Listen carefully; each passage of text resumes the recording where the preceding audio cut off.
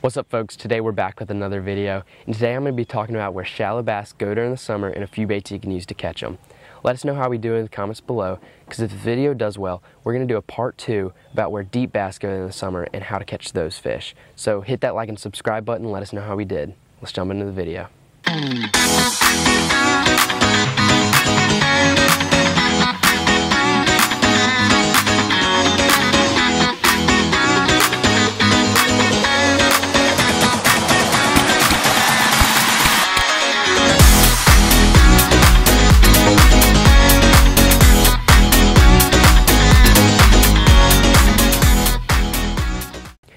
Y'all, before we talk about any baits, I'm gonna talk about where shallow bass go. It's as simple as shade. If you can find shade, you will catch bass.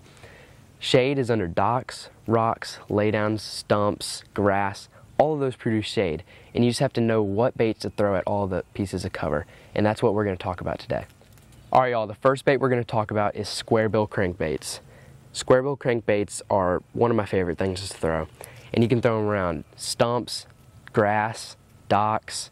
You just bang them off of all the cover you can think of. Riprap walls, those are where it shines, riprap walls.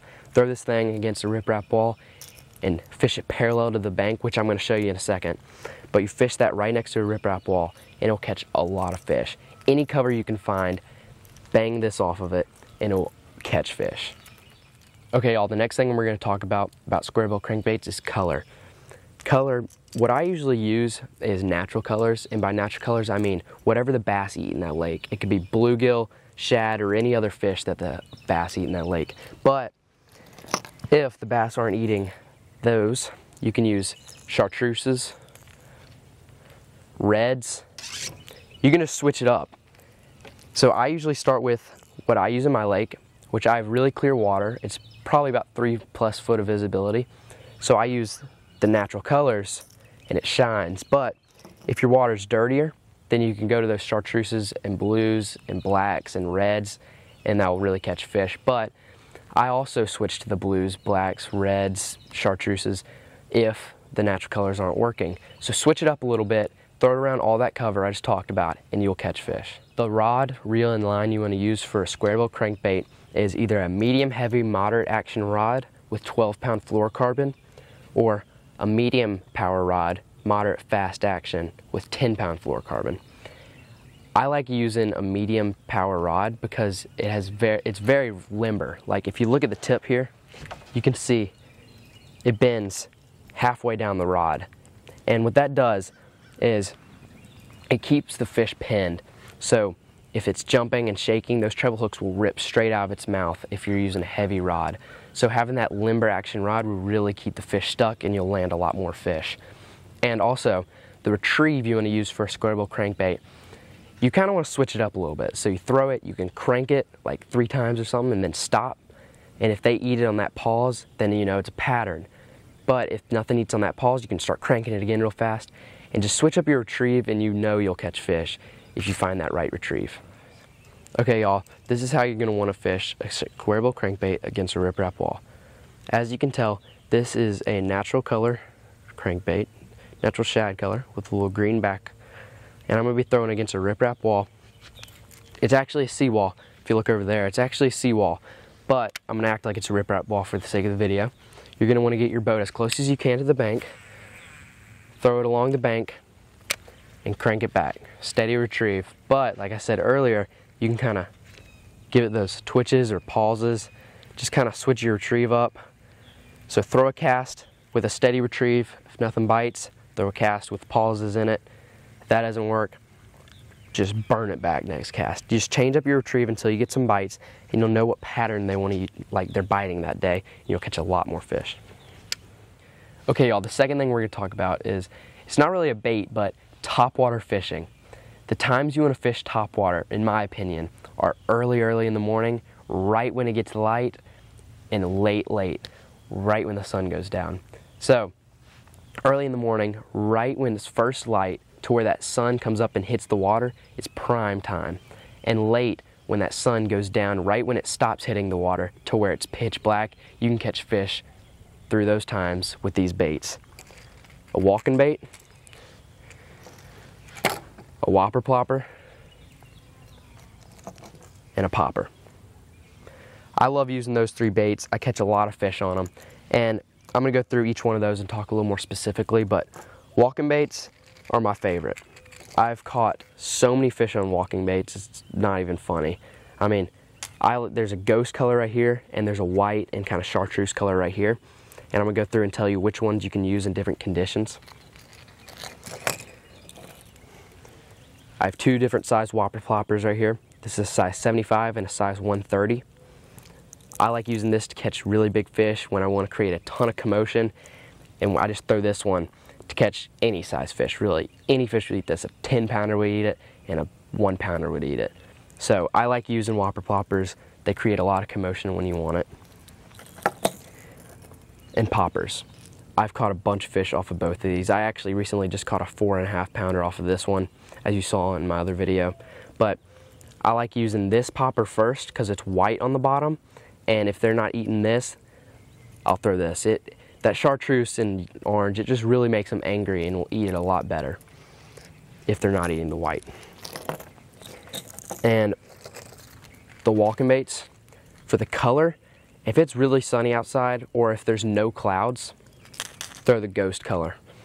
If it's really cloudy, obviously, throw this color. Chartreuse, white, just the contrast for the colors, it just works a lot better. Where you're gonna wanna throw these baits is around docks, stumps, grass, and any cover you can find.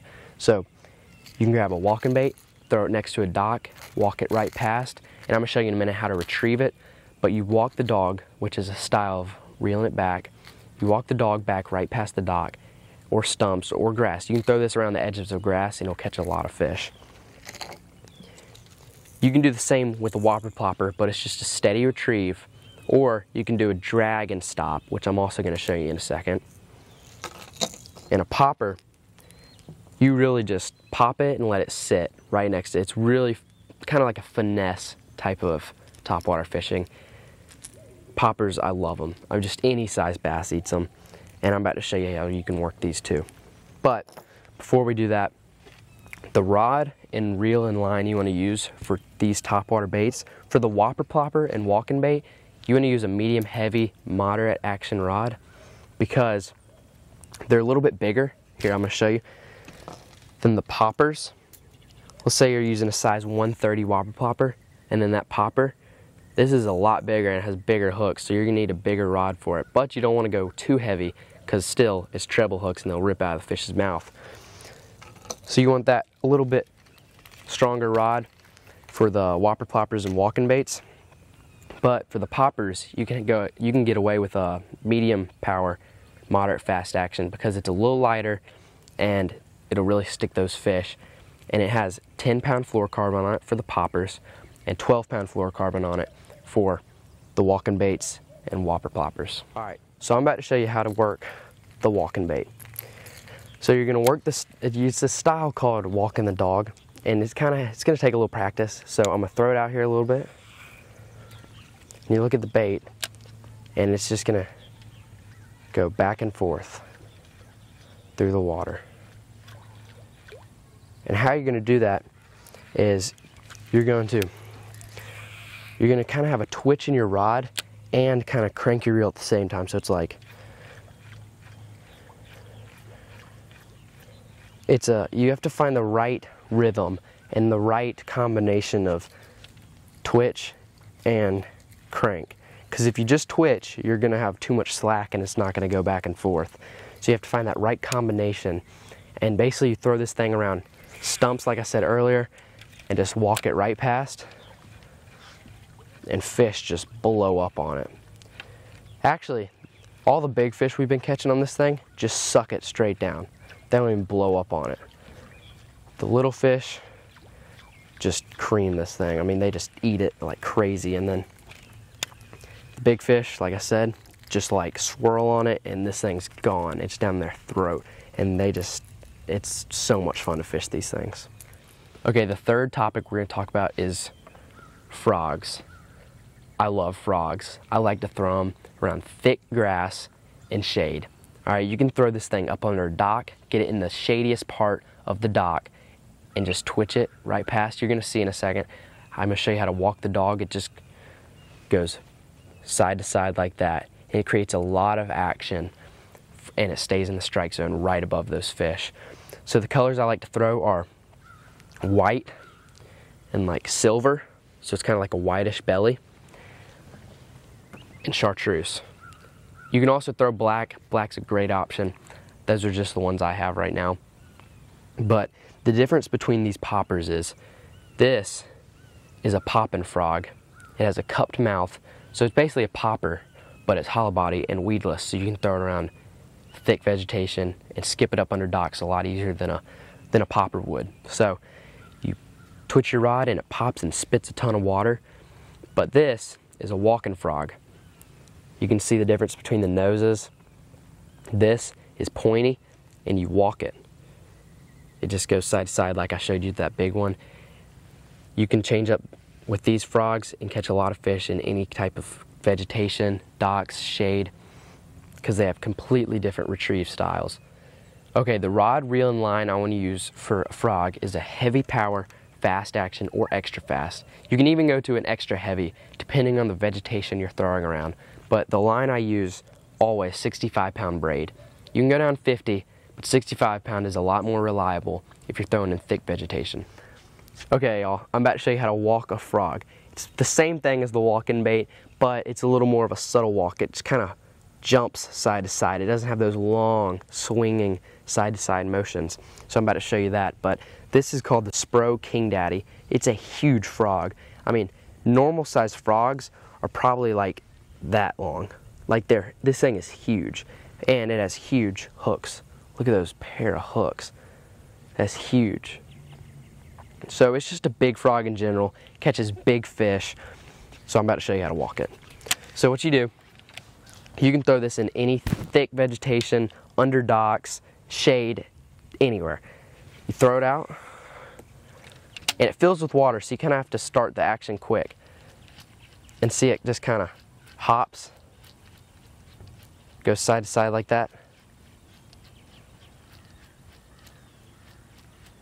Doesn't have those long swinging, swinging motions like the walking bait, but you're gonna have to empty it out every time, or this frog at least because it fills with water. But I love this frog. I actually hooked, I hooked and lost a big fish on this frog. I mean, it was probably six plus, close to seven pounds. I lost it, I was throwing thick cover, and this bait just made them just suck it down and just a hook set it wasn't anything wrong with the bait. I just didn't have the right gear. I had fluorocarbon on, which you want to be throwing braid because that fluorocarbon has stretch.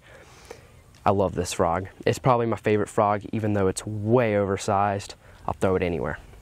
Okay, the next thing I'm going to talk about is jigs, shaky heads, and Texas rigs. This is kind of like the soft plastic section. So, first thing you want to do is throw it around shade, obviously.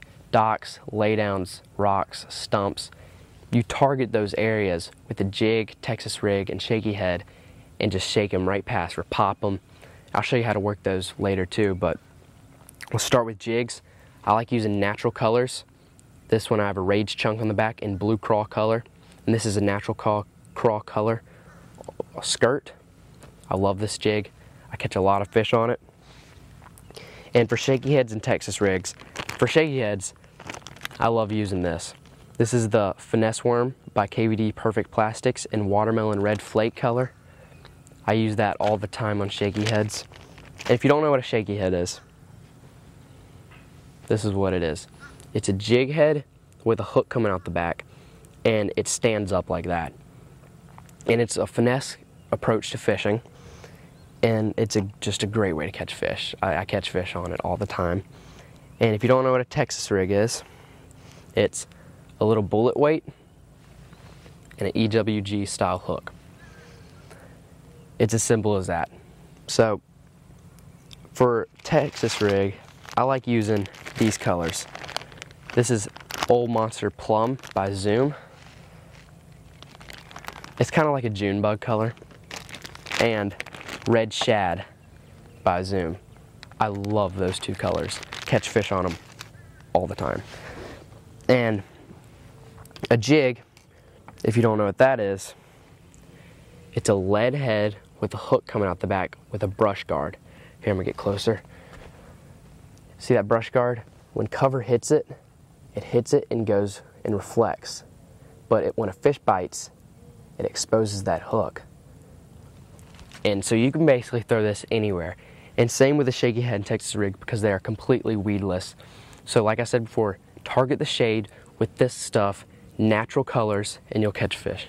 For shaky heads, Texas rigs, and jigs, I use a medium heavy fast action rod with a relatively high gear ratio reel. It's a 7-3 to 1, and I use 14 pound fluorocarbon. I like using fluorocarbon because that it gets that more direct contact to the jig or shaky head or Texas rig, and I can have better sensitivity and better hook sets. Okay guys, this is how you fish a jig. You can fish a shaky head and Texas rig the same way as a jig, but if you look right here, it has claws on the back. This is the Rage Chunk, and it has a ton of action. If we look real fast, it's in the water. Those legs just kick, and it provides so much action. So what you're gonna wanna do is you throw this thing out, find structure, docks, rocks, and just throw it right past it. And you won't be able to see the bait, obviously, because it sinks to the ground, but if you look at me, you lift the rod up and then let it sink back down to the bottom. Once it sinks to the bottom, you reel in slack. You don't want to get it too tight. You don't want to reel in all the slack, but you just want to reel in the extra. And so you keep doing that. And what that does is it allows these claws, so it sits on the bottom like this, okay? These claws are pointing straight up like that, and this jig head's straight on the ground. And this skirt is kind of pulsating in the water, so it creates a ton more action. But when you lift it, it pulls it up, and those claws kick. And then when you put it back down, they fall and the claws kick. And it really entices those bass to bite this thing. And there's a few more ways to uh, reel it in, so or re worked it. So I'm gonna show you. Throw it, you let it sink to the bottom, and you can drag it like I just did. You can let it sink, and then you can pop it. You can give it a good little pop. So what that does, it just instead of just slowly lifting and slowly going back down, it it's like boom, like fast, and it just has a ton of kicking action. And you can just kind of switch up your trees. You can slow reel up, and then just pop it. Or you could kind of just drag it low across the bottom so it's like a crawfish, like scurrying across the bottom. It kicks up a ton of dirt and has good action. So those are three ways you can work a jig, Texas rig, and a shaky head. Rotate around those three ways of working it around the structure I was talking about. You'll catch fish with these. It's pretty fun coming out here and seeing if you can change your retrieve to catch fish because once you find it, it's kind of like a game. It's like Look at that, they're right there. So what I was saying, it's kind of like a game. You have to like find what works. So come out here, nothing's set in stone. Come out here, try different things until you find something that works. Once you find something that works, you'll catch them all day. It's fun. Look at that, one was following. I know you couldn't see it, but one was following them. So that is a good sign. So that I look at that and I'm like, I should probably pause because I didn't pause that reel and one was following it. If I'd paused, maybe he would have attacked it. So I'm gonna pause.